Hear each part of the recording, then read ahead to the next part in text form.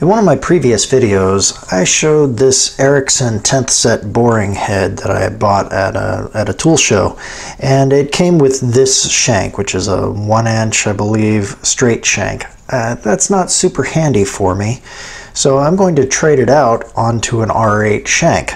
The problem is, the thread size on this boring head is 5 8 18 instead of the one that's normally used on say, criterion boring heads.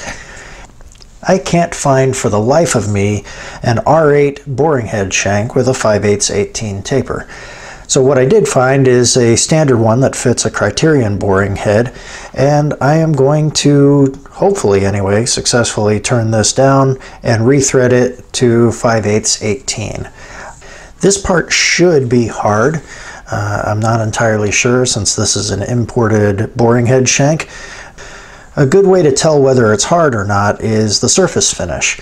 Mild steel or unhardened steel will generally have sort of a, um, usually a torn surface. It depends on the alloy of steel, um, but it won't necessarily be a nice surface finish, whereas hardened steels do tend to be quite shiny after they're machined. A couple of notes before we begin.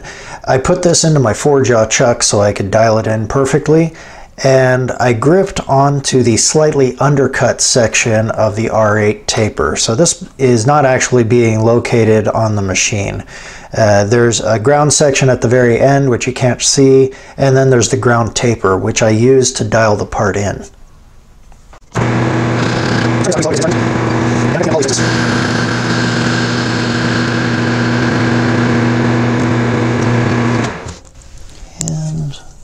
Can't really tell. That doesn't really look like a hardened steel surface, but I guess we'll be able to tell eventually once we get down to the, uh, the finished diameter.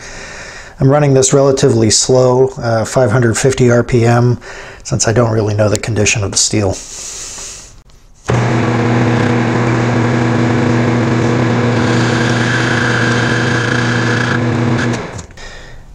Looks like it probably is hardened, uh, which is a good sign. It's not terribly hard though, the carbide is cutting it just fine.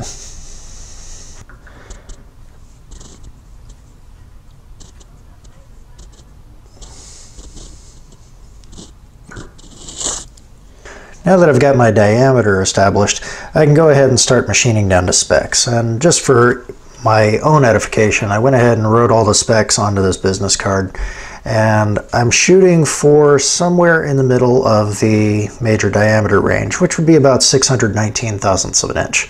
I also went ahead and wrote my pitch diameter range, which determines the class of fit, minor diameter, so I know where to put my thread relief back here, and then this one is the measurement over wires. Um, I don't have a thread micrometer that will work with 18 threads per inch in this size, so uh, I'm going to use thread wires and I always find it easier just to take the constant that's in the thread wires chart and add it to the pitch diameter range so that all I'm looking for are those two numbers right there.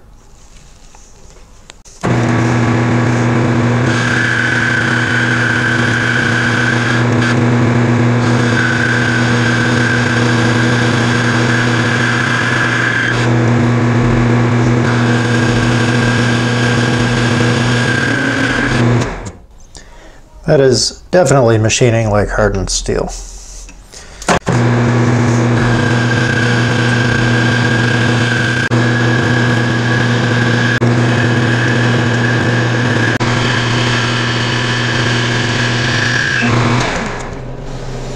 That last cut I pulled out a little bit rather than dragging across because I want to make sure that I can get a good surface finish to measure off of.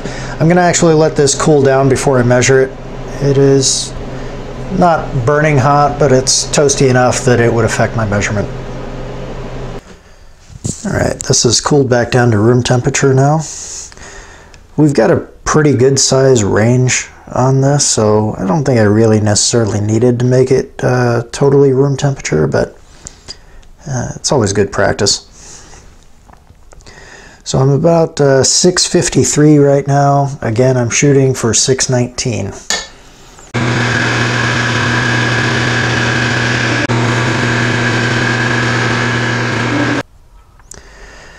Just a little under 620 thousandths, which is within our range for major diameter, so we're good there.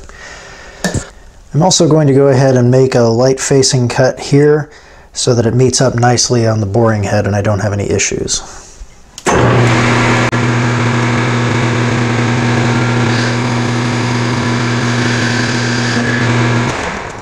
Alright, that's looking nice and smooth. Next thing, I'll go ahead and put the thread relief in, and I'm going to use my parting tool for that.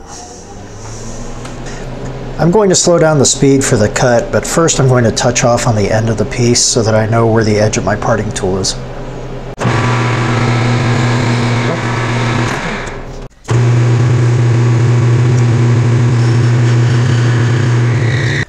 I just touched off lightly in this corner on the diameter, and I'm going to go ahead and punch that into my DRO as the diameter that I just mentioned a little while ago. Now that I have that punched in, I can go ahead back to my shoulder and I can move in until I get to smaller than the minor diameter of the thread. That way I don't end up with any threads inside my thread relief.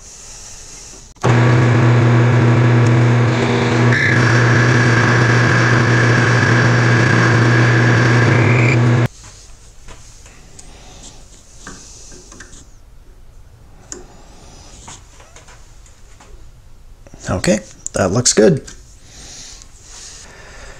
Last thing before threading is I'm going to put a chamfer on the end. I've said it before in almost every one of my threading videos, 100% of the time, no exceptions, always put a chamfer at the beginning of your thread. This makes your job a lot easier because threading without a chamfer is going to raise a huge burr and you won't have to try to remove that after the fact and potentially damage your thread.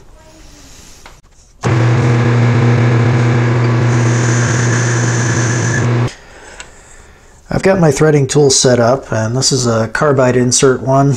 It is really small and it'll fit into the thread relief but just barely so I'm gonna have to be really careful not to run into the shoulder here. Uh, because of that I'm running the lathe as slow as it'll go which is 50 RPM.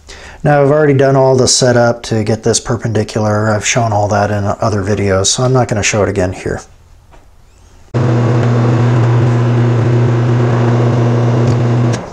There's my first scratch pass. I gotta say the pucker factor is quite high on that.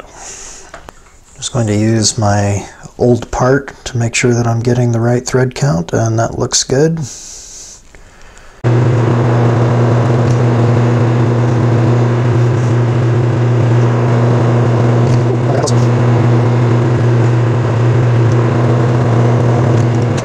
A pro tip here, in instances like this where I'm threading right up against a shoulder, I'm looking at the left hand side of the tool. I'm not looking at the threads at all.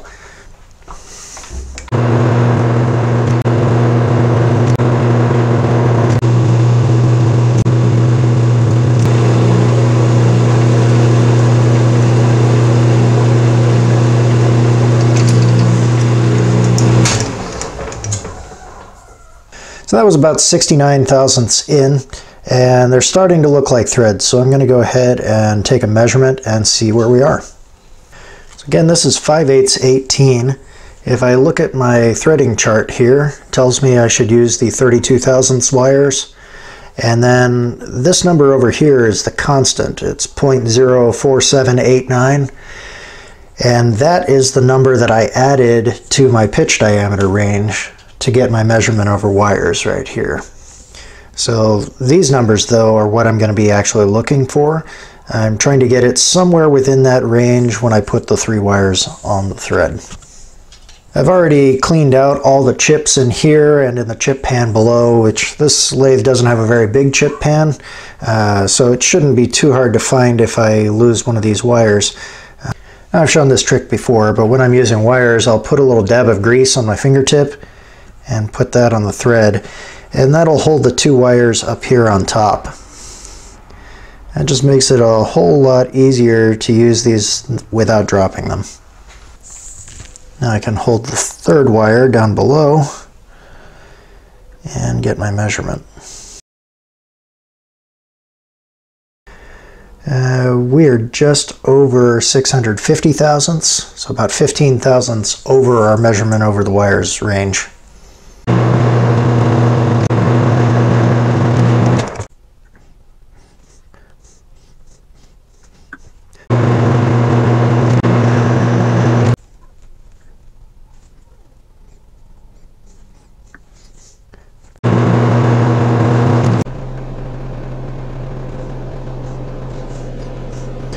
635 and 6 tenths. We're just a tiny, tiny little bit, two tenths of a thousandth over our measurement over wires range. So I'm going to move in one last thousandths of an inch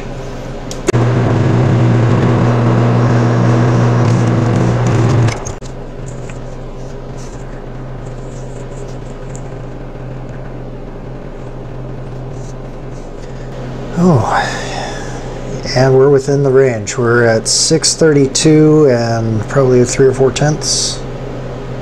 It looks like three tenths.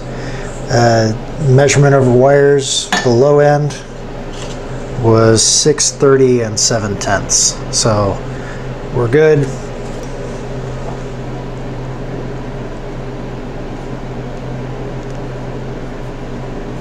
Oh yeah, fits great.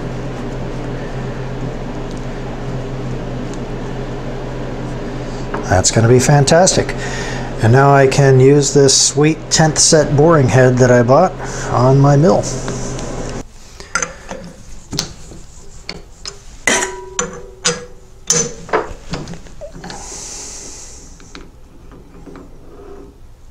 All right. That's a job well done.